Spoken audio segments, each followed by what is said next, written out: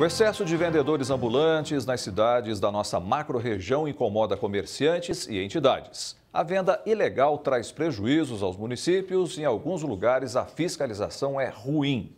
Durante a semana, equipes do Jornal da Clube conseguiram flagrar o descaso dos fiscais diante do problema.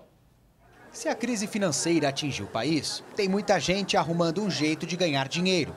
Como o mercado de trabalho já não absorve como antes, é cada vez maior o número de pessoas trabalhando por conta. E com isso, muita gente foi para as ruas vender produtos mais baratos.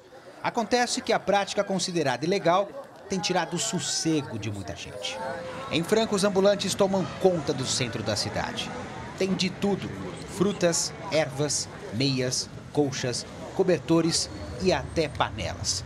Transitar pela Praça Barão fica difícil.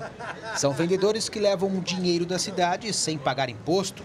Enquanto isso, o comerciante legal precisa pagar o aluguel, altas taxas, além das despesas com funcionários.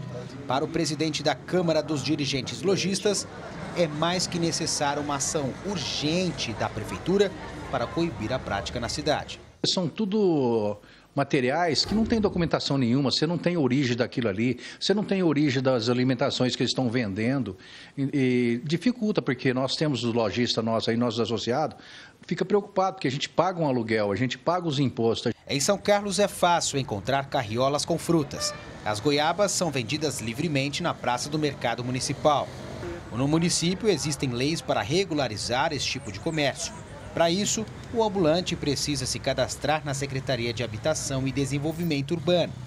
A Associação Comercial de São Carlos quer a regularização da classe e o controle dos produtos comercializados, mas alerta: tem que ter fiscalização e cuidados com o comércio de alimentos. Tem que haver uma fiscalização rígida por parte da secretaria para que realmente esses produtos sejam colocados no mercado com toda a qualidade, higiene que realmente o consumidor merece. Em Araraquara também existe a regulamentação para os vendedores ambulantes. Para conseguir o alvará de funcionamento, é preciso que o ponto de venda esteja entre os locais pré-determinados pelo município. Assim, como em São Carlos, a grande preocupação fica por conta da venda de alimentos. A vigilância sanitária realiza a fiscalização do que é vendido, mas o órgão só funciona durante o dia e muitos vendedores atuam à noite. A vigilância vai, verifica a residência, verifica como ele guarda esse produto, como ele manipula. Ah, só não atua quando é alimento in natura, quando são frutas. Aí a vigilância não, não interfere. E na maior cidade da macro-região, o problema é ainda mais preocupante. A Associação Comercial e Industrial de Ribeirão Preto recebe todos os dias várias reclamações de comerciantes sobre o assunto. Agora, existe a preocupação de que volte a ser grande a circulação de vendedores ambulantes nessa área. Isso porque muitos ambulantes que estavam no Centro Popular de Compras decidiram retornar para o quadrilátero central devido ao fraco movimento de clientes. E hoje no calçadão, eles fazem a maior farra. Este vídeo enviado por um telespectador do Jornal da Clube mostra uma, duas, três barracas de milho. São vários carrinhos com água, açaí, carriolas com frutas e legumes. E tudo isso acontece debaixo do nariz da fiscalização geral. Os fiscais permanecem dentro do carro, aparentemente despreocupados com o que acontece em volta. Após a denúncia, fomos ao centro e encontramos mais comércio ilegal funcionando com facilidade. Vai passar bem perto da viatura e nada fiscalização. Passou tranquilamente. Olha aí não teve material apreendido. Sem mostrar o rosto, esta vendedora ambulante diz que não existe fiscalização no centro. Quando eles estão perto do chefe, aí eles mostram o serviço, chama a guarda municipal, põe na pampa, pega as coisas da gente, mas fora disso. E aqui o pessoal trabalha tranquilo? Trabalha, aqui. trabalha. Ambulante aqui? Graça porque você tá ali. Este outro morador, que também preferiu não se identificar, diz que os fiscais estão fazendo o corpo mole, depois que a prefeitura bloqueou um benefício que era repassado a 6.500 servidores municipais. Dá a entender que esses fiscais ou esses funcionários, eh, em represária a esse não aumento, estão fazendo algum uh, processo de, de boicote em represária a esse não aumento. A fiscalização geral informa que tem conhecimento da venda ilegal no centro e que realiza operações.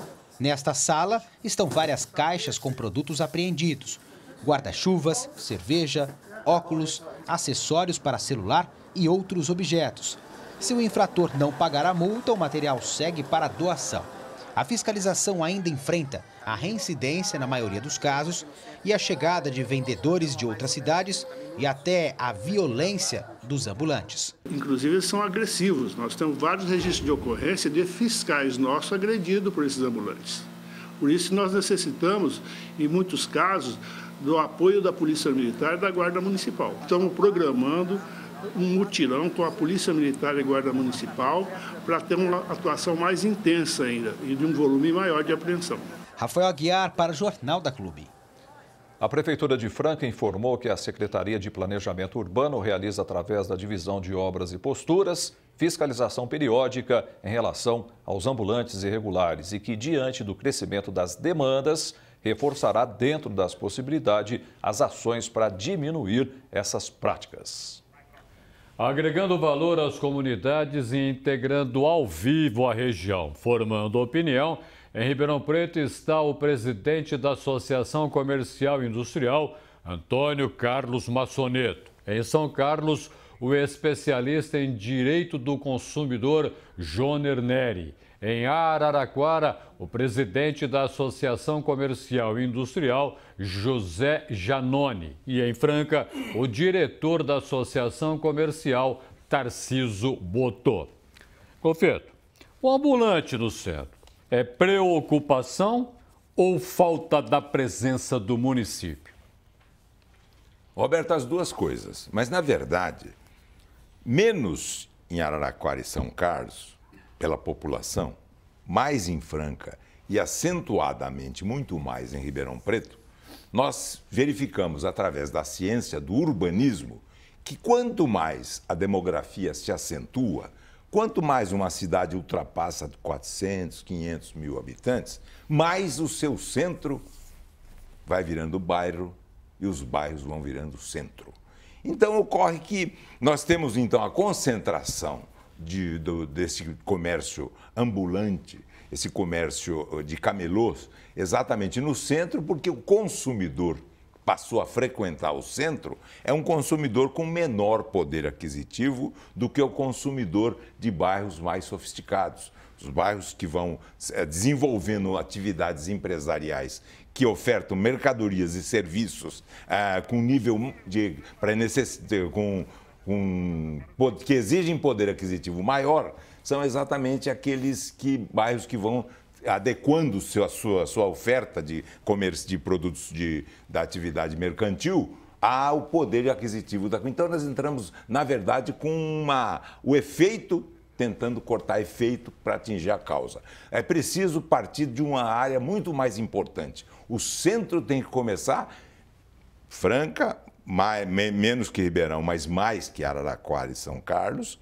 é, começar a desenvolver atividades urbanísticas para impedir a deterioração do centro. Em Ribeirão Preto, ela é visível, está claro a decadência do centro. E é preciso, antes de mais nada, lembrar que o Mário Cantano, o grande poeta, dizia: tudo é sempre outra coisa.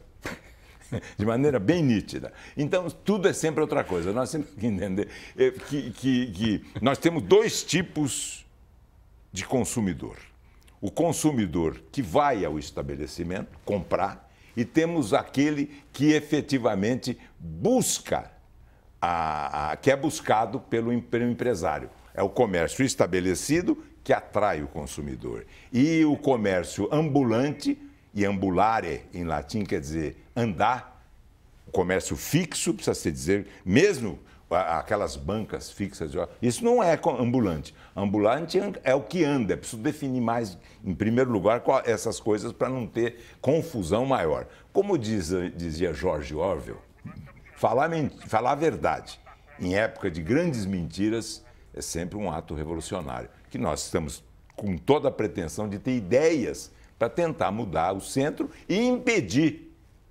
municípios que estão caminhando para ter o mesmo problema que Ribeirão já tem e que outros municípios já tiveram e tentam cortar o mal.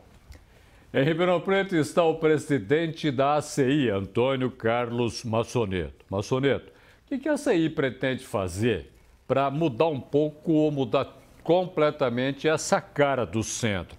Como se dirigir à prefeitura, como pedir para que também o direito dos comerciantes seja mantido lá no centro de Ribeirão. Boa tarde a você. Boa tarde a você, professor Roberto, Golfeto e os demais telespectadores. Bom, a ACI já vem fazendo isso há bastante tempo.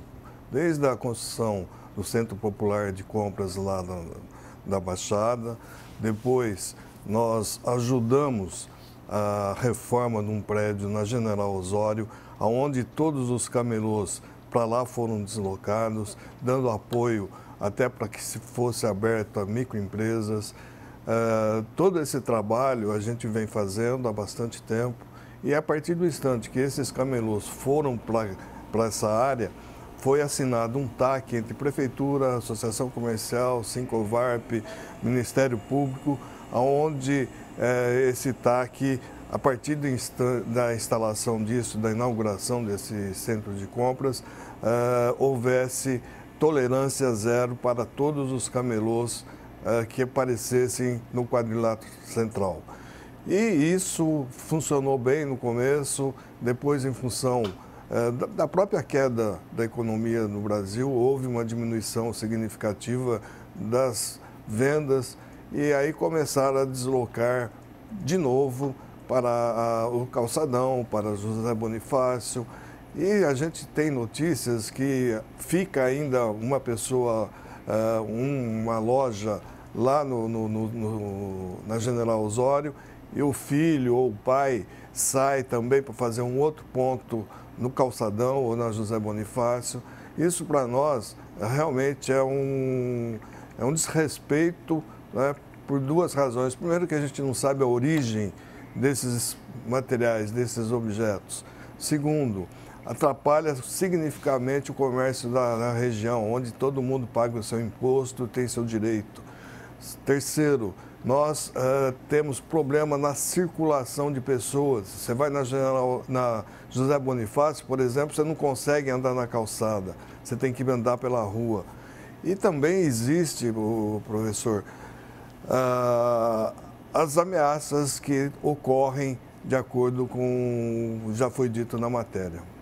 Muito bem, que tipo de ameaça realmente a gente acaba vendo e tem outras implicações? Daqui a pouco eu volto a falar com o senhor a respeito dessas outras implicações. Porque eu vou agora até São Carlos conversar com o especialista em direito do consumidor, Joner Neri.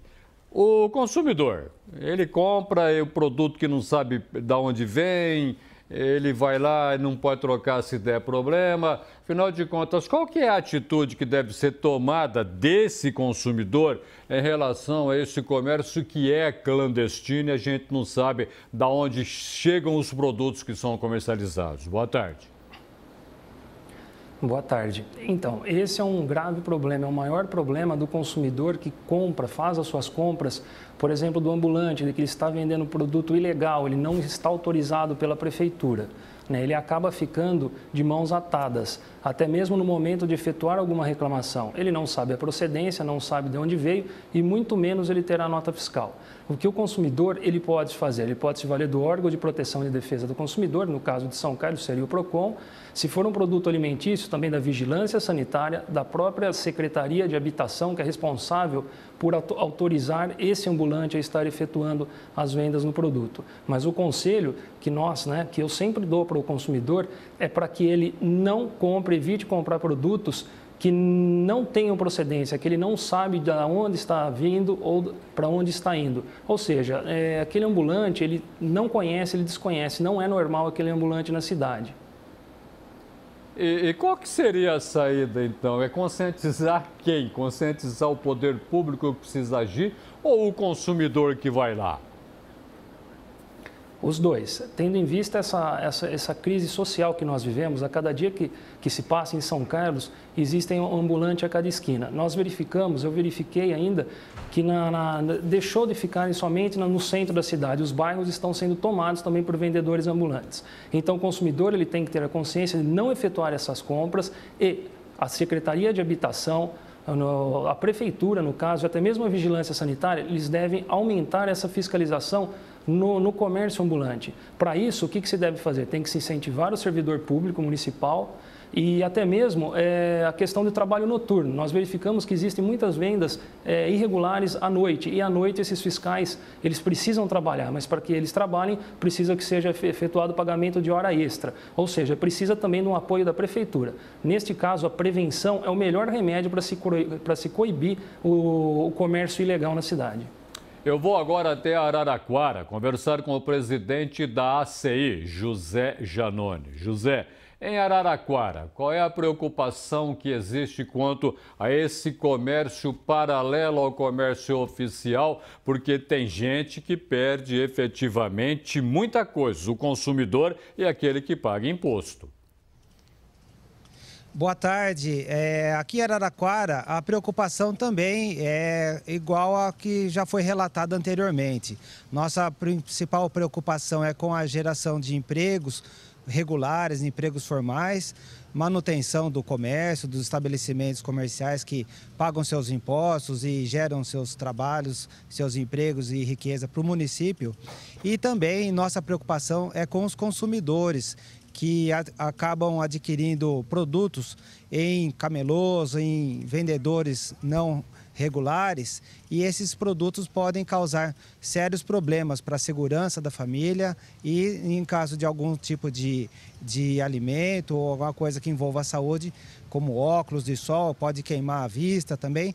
É, então nossa preocupação é dos dois lados, com os consumidores e também com os empresários.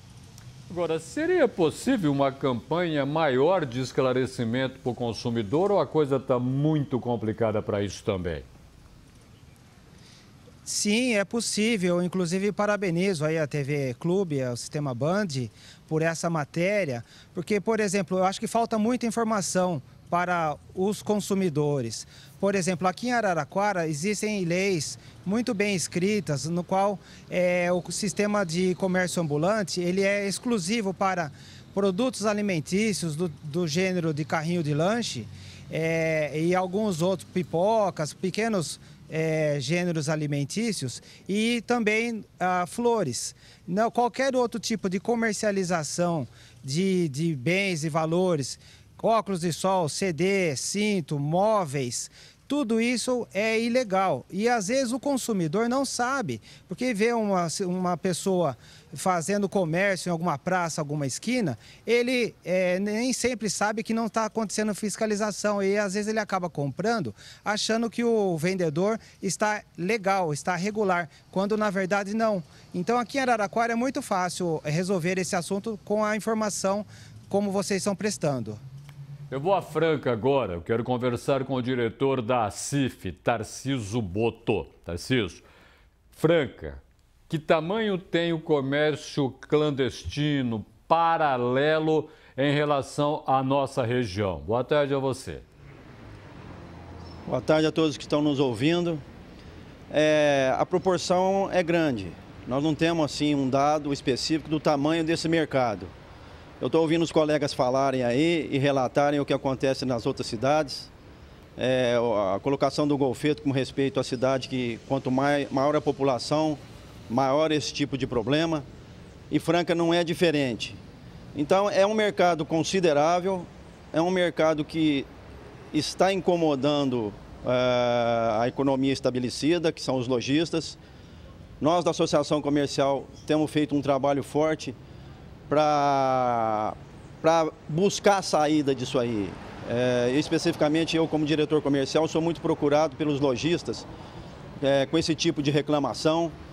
Eu acho importante essas abordagens que estão sendo feitas hoje, essa matéria, pra, na busca das soluções. É importante conscientizar a população? Sim, é importante conscientizar a população. E esse é um momento que nós estamos fazendo agora, é, na busca dessa, de, desse trabalho. É importante a, o envolvimento do poder público municipal, da fiscalização, é muito importante. É, tem que ter um empenho maior. É, o lojista, o empresário, é importante a participação dele. Ele tem que estar junto nisso, participar, procurar a associação comercial. Nesse, nesse sentido, a Associação Comercial fez um trabalho buscando a saída para isso, que foi é, um grupo que foi criado em Franca, que é o G6. A Associação Comercial está encabeçando esse, esse, esse grupo. E nós fizemos um projeto, foi desenvolvido um projeto em parceria com a escola aqui de Franca, de revitalização do centro, porque esse problema dos, dos ambulantes, apesar de estarem é, enfrentando, os bairros estarem enfrentando, mas ele, ele acomete mais o centro da cidade como outras cidades. E nesse projeto contempla a revitalização do centro. Esse projeto contempla a revitalização do centro. Então, é, é, é, uma situação que acomete a cidade, é uma situação que incomoda, é uma situação de perda, é uma situação que tem que ser regularizada. E o muito importante nesse momento é o que eu estou dizendo, é qual é a solução. Então, a Associação Comercial está empenhada nisso, está junto nessa causa, montamos um projeto, nós, é, a nossa ideia é, é levar o projeto adiante, é, o projeto está pronto, é um projeto que contempla é, revitalizar, é, em parceria com o SEBRAE também, fala-se na economia criativa, e isso é, é, muito importante, é desenvolver isso aí. Okay. Então nós estamos prontos para, é, não é combater, mas é organizar isso de uma forma melhor para levar a, a, economia, o comércio favorável a todo mundo. Muito obrigado. Ô, Filton, uma coisa que eu acho que preocupa o comerciante paga imposto ou impostos. E esses impostos, com a presença dos ambulantes, esses impostos, esses pagamentos são desrespeitados? Vou até colocar uma coisinha a mais para você. Nós também pagamos impostos nos produtos que nós consumimos. Nós também, consumidores, estamos sendo desrespeitados? Mais ainda. Mais ainda? Mais ainda. A verdade, Roberto, é que nós estamos sempre nos defendendo dos nossos sentimentos. Nós temos um caso típico de duas, duas penas. A pena dó, comiseração que a gente tem quando pensa em atingir o camelô, o, o ambulante que está vendendo lá a sua pipoca, o seu, seu perfume, o que ele quiser.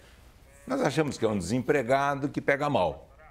Bom, mas nós temos que pensar na outra pena. Não pena dó, comiseração. Sim. Pena punição.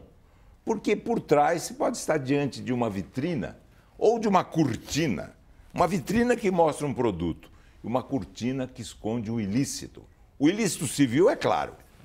Os comerciantes, os empresários estabelecidos, eles pagam tributos, eles pagam aluguel, eles têm o seu, a sua despesa Agora, o ilícito penal, nós temos que verificar, porque ele fica, é como os gregos falam, cripta.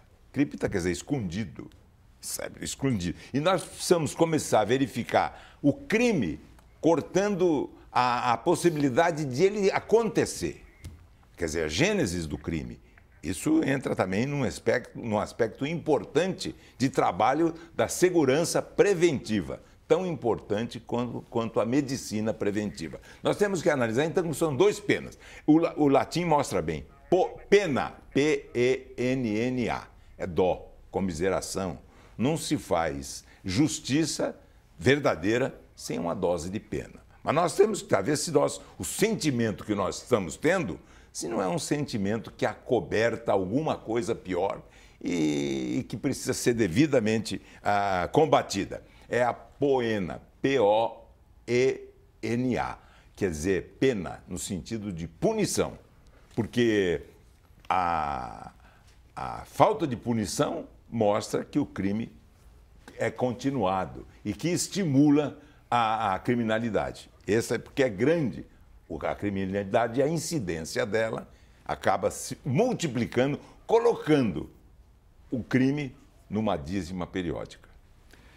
Deixa eu voltar a Ribeirão Preto para conversar com o presidente da CI, Antônio Carlos Massoneto. Massoneto, eu vou aproveitar o que o Golfeto estava colocando a respeito da necessidade de saber, afinal de contas, de onde vêm esses produtos que são expostos no, no, no calçadão, nos bairros de Ribeirão Preto e até dos produtos que a gente compra para se alimentar ali na hora, enfim.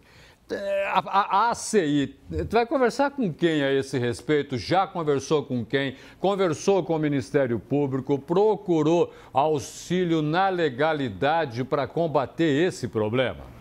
Bom, no final do ano passado, uh, como não havia uh, resposta da fiscalização, é, insistentemente nós reclamávamos dos camelôs dentro da área do quadrilátero, nós acionamos o Ministério Público sim, porque o TAC nada mais é que era um termo de ajustamento de conduta.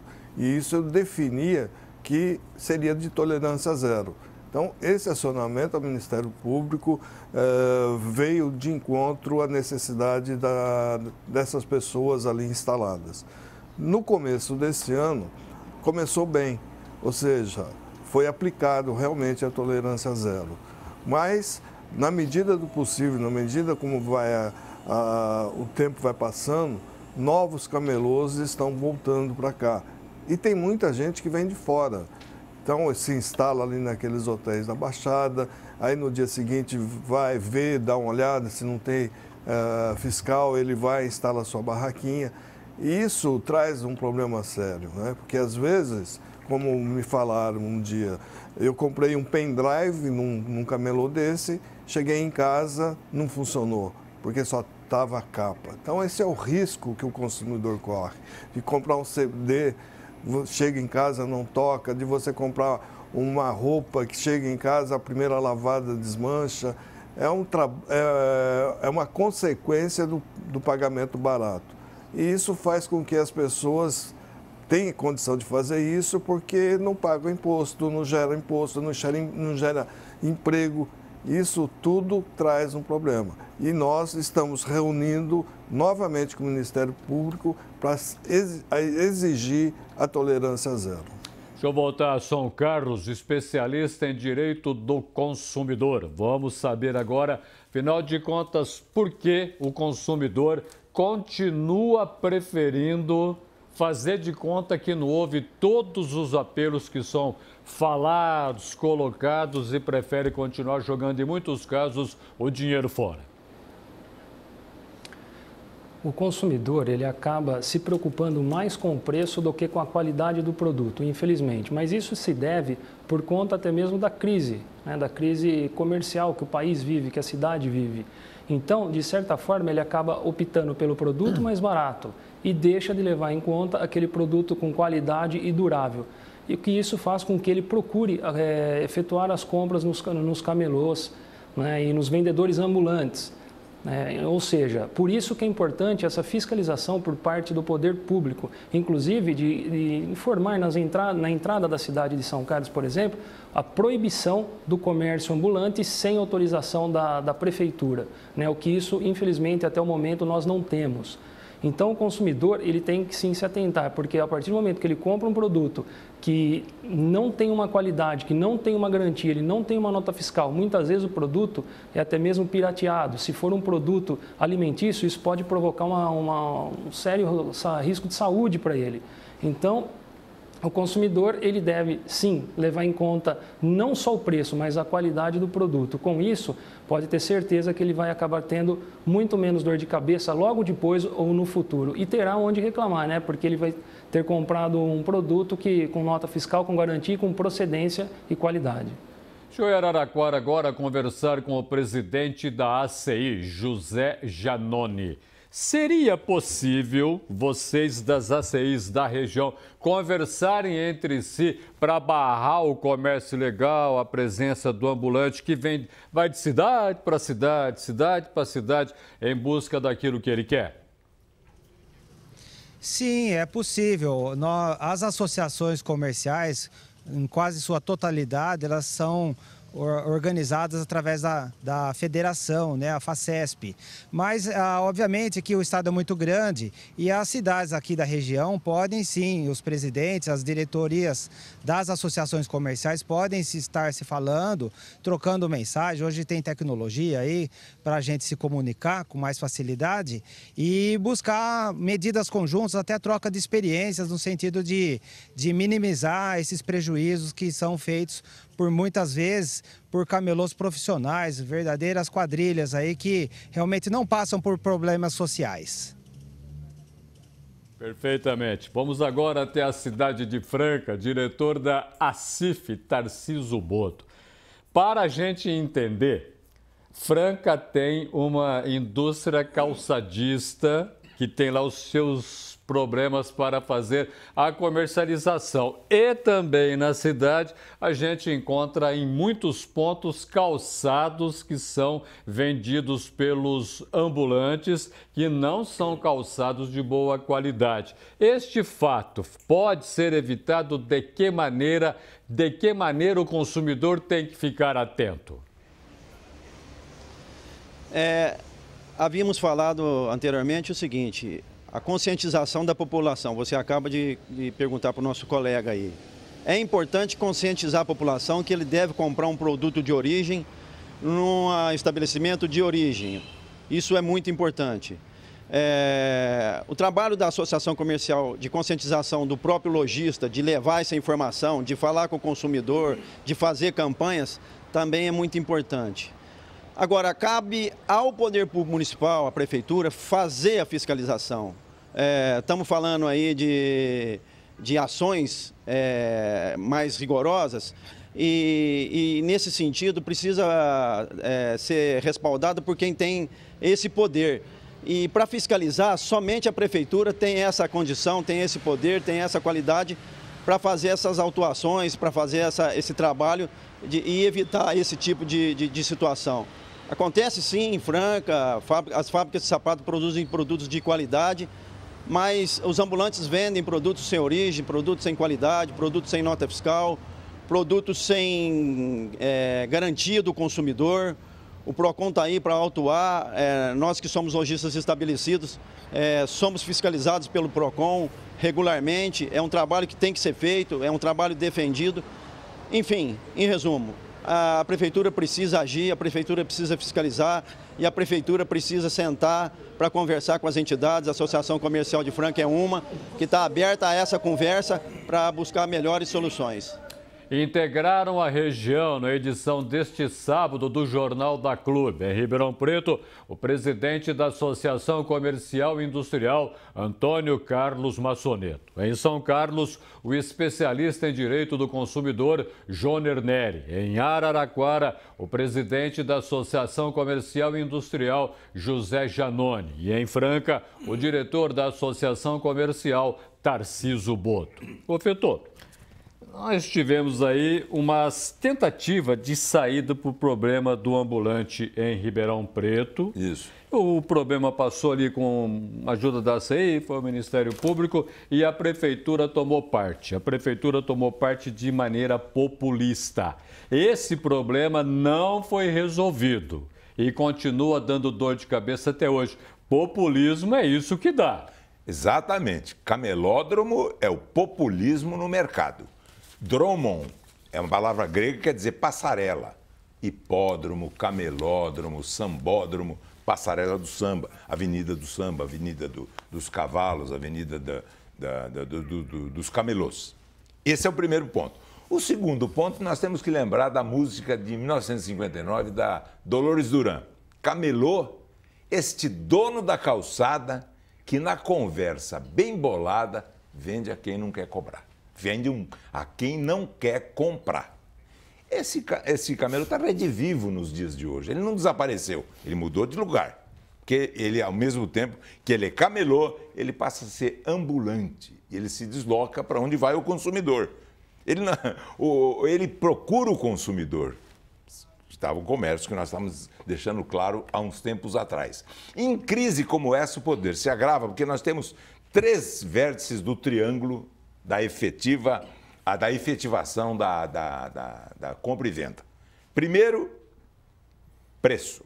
Segundo, qualidade. E terceiro, atendimento. Em época de crise, o que passa a ser mais importante é o preço, que é precioso. E o camelô, em, em, em termos de, de, de, de mercadoria, ele, ele, verifica claramente que a mercadoria em bairros mais refinados chega sempre menos cara do que na, na, na, na periferia. Agora, o serviço, manicure, é mais barato na periferia. Então, conforme o comportamento da cidade, nós temos que ter a ação da fiscalização e a ação, inclusive, do próprio cidadão.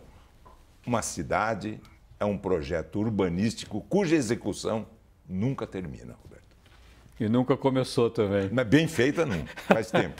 Faz tempo. Golfeto, muito obrigado pela sua presença no Jornal da Clube. Muito obrigado pela sua participação, Roberto. Muito obrigado. Obrigado.